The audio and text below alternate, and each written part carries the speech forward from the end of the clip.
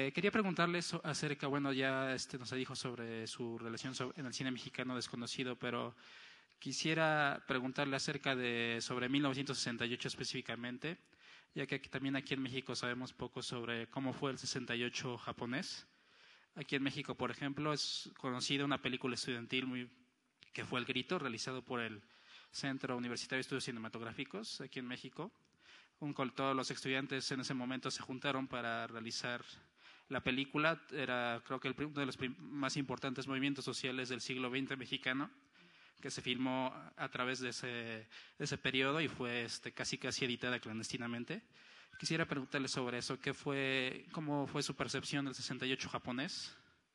y acerca sobre todo qué es y otra pregunta sería sobre su problemática de, viaje es verdad que no puede venir a otras partes del mundo no puede estar por el gobierno japonés le impide venir aquí a, México y a otras partes. No solamente tenía esa duda. Muchas gracias.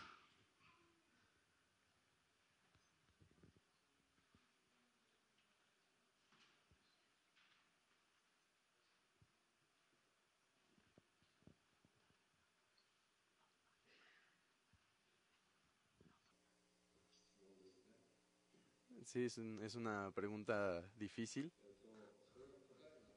A ver si la puedo responder, pero voy a dar mi opinión eh, sincera. Sí, si está esa película del grito, pues me gustaría verla, ¿no?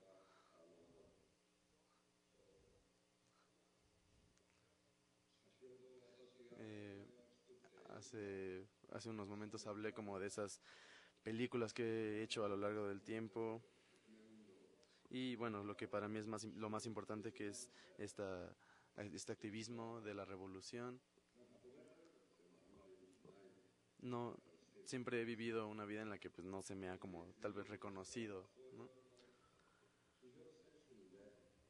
Sí, pero bueno, lo que podría decir al respecto es que si yo, yo me sigo moviendo, trabajando, haciendo, este, aunque sea criticado, eso es obvio, ¿no? Yo, yo lo considero como algo obvio. Y la crítica, las personas que hacen la crítica, sí, y bueno, más bien tomar las críticas de una forma eh, también como importante de las personas que lo hacen. Y yo también eh, pienso hablar como del, de los de la diferencia de las de las situaciones del, del 68 y de ahora, qué hay de diferencia y qué es lo, qué es lo que sigue igual, ¿no? En el 68 eh, las, las empresas multinacionales o los sistemas multinacionales todavía no están tan bien, digamos, construidas. Entonces cada país tenía sus formas de hacer las cosas muy particulares. Entonces, yo pienso que entonces tal vez era, bueno, tal vez no puedo decirlo como fácil, pero era más fácil hacer la, una revolución, ¿no? Cada, si una, si una revolución mexicana, pues una revolución de México, si una revolución de Japón, una revolución de Japón, ¿no? Pero ahora, como las, los diferentes países eh, al mismo tiempo están viviendo la globalización, entonces el mundo, el mundo se ha vuelto como uno solo, ¿no? Y hay que pensarlo así. Y si lo pensamos así,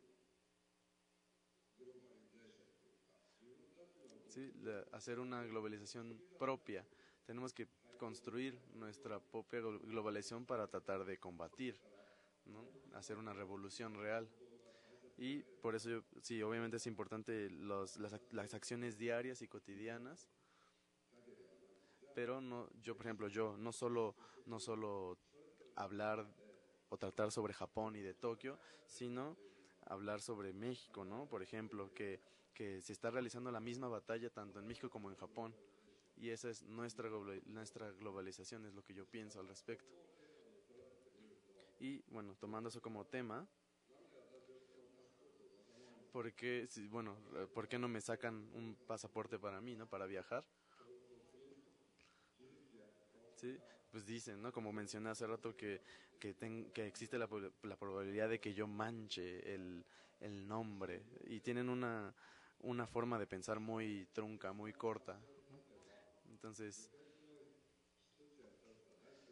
pues yo no yo pienso que no hay ninguna ningún problema con que yo salga, ¿no? Entonces, ahora si nosotros queremos como realmente eh, pelear, digamos de alguna forma, es bueno, yo estoy aquí en Japón, pero pues, las personas que estamos en Japón con las mismas con los mismos sentimientos y los mismos eh, pensamientos estamos viviendo e ir cambiando ¿no? el entorno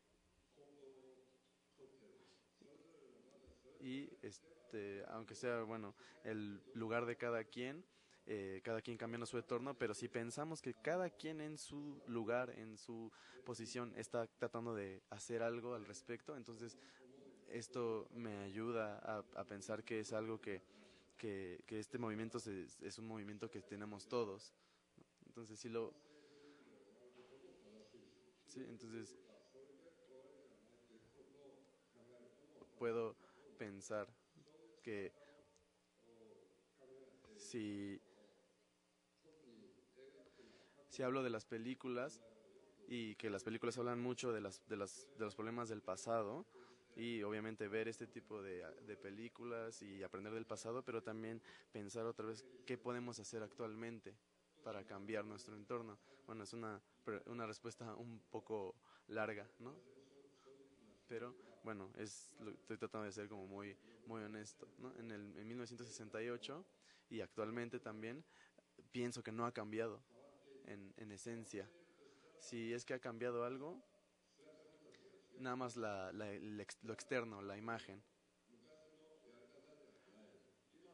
Pero tenemos que, justamente por esa diferencia, también hacer una nueva, un nuevo activismo ¿no? que, que responda a eso.